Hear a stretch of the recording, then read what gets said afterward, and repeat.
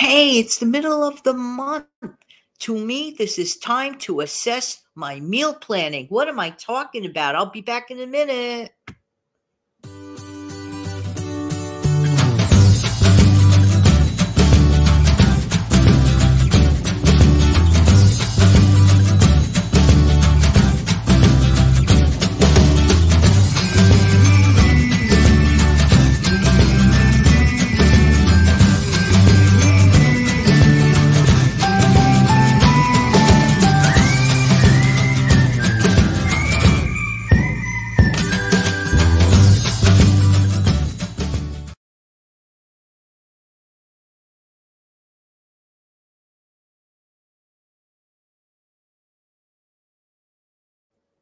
Good morning, good afternoon, good evening. Hi, this is Jan. Welcome to the Save Money and More with Jan channel. How you doing today? Hope that everybody's doing well. If you're brand new here, welcome, welcome, welcome. If you've been here for a long time, thank you, thank you, thank you. In fact, thank you everybody for being here. If you want me to remind you at this moment, don't forget to click the like button before I even get into it so that you don't have to remember. All right. Thank you so much. I really do appreciate your channel support. I want to talk to you today about something that I do every middle of the month. And right now we are smack dab in the middle of this month, which happens to be April. Okay. So what I do is I assess my meal planning for the remainder of the month, I look around at my inventory. What part of my inventory, my food allotment, for example, what uh, I have in my stockpile, what I have in my active pantry, in my refrigerator, in my freezer, in my cupboards. I, I just take a quick look see.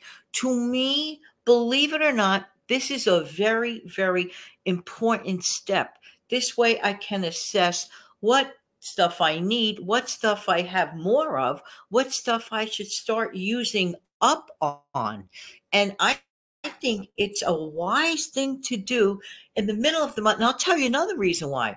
Because at the beginning of the month, you know, everybody's caught up like like do another like beginning of the month stuff, like sitting down, make sure you know the rent, their mortgage, you know, sitting down with their bills and that type of thing, or at the end of the month. Some people do that. Depends on the billing cycle.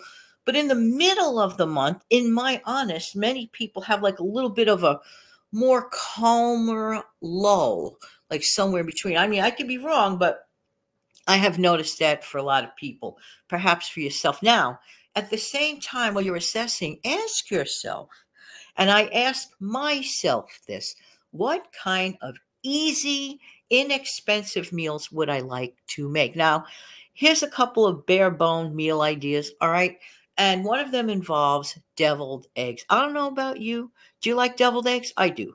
Well, if you like, if a person likes hard boiled eggs, more than likely they're going to like deviled eggs. Now, if you don't know what that is, what it is basically, it's a hard boiled egg where the cooked uh, yellow portion, the uh, egg yolk is nicely cooked like a hard boiled egg, and it is hollowed out. Cut the hard boiled egg in half, hollow out the uh, yellow part of the egg put a little bit of your favorite dressing, and I mean a little, maybe a little bit of mayo or other style of dressing that you like. We place it back in there. And then I like to put a little paprika on the top. I think that's why they call it deviled eggs, because the little bit of red, the paprika type thing. Um, I don't know what it is. The paprika seems to make it more delicious. I don't know if it's psychological, the appearance. I don't know what it is. But I'll make a bunch of deviled eggs uh, for a couple of days as like the main protein of the meal, then I could have like cut up uh, some celery stalks and maybe uh, stuff that with a little bit of cream cheese. I love those. I call them pick on meals. What? They're already done. Just put them on a, like a platter, grab as you go, paper plate, bunch of olives, you know, just to me, it's sort of like a weird kind of charcuterie board type thing. Inexpensive, fun to have, a little bit of crackers. Those things you can make in advance. You can make them, we make them very, very cheaply. Uh, we could take some deli ham, roll up the ham or the turkey, uh, roll that up, make a little bit of a platter And actually, you can like kind of sort of like make that like a couple of days worth and just, you know, wrap it up nicely into your good food savers. And then the next day, and the flavors marry, you have everything like make that platter all over again, which is like so, so good. And you feel like, like, you've had a luxury meal because one isn't working at their stove. They just come home, it's there, take it out, pull it out, sit down to it, done, done, done, done. So that's absolutely amazing. I just thought that I'd mention this idea about first assessing your situation. And don't forget that you could get creative with meals. Why don't you let me know in the comment section below what do you do in the middle of the month? Do you when or when slash when do you check your inventory? Thank you so much for being here. I really appreciate everybody's time. Take good care and don't forget to enjoy your day. Why? Because you could. Hang on.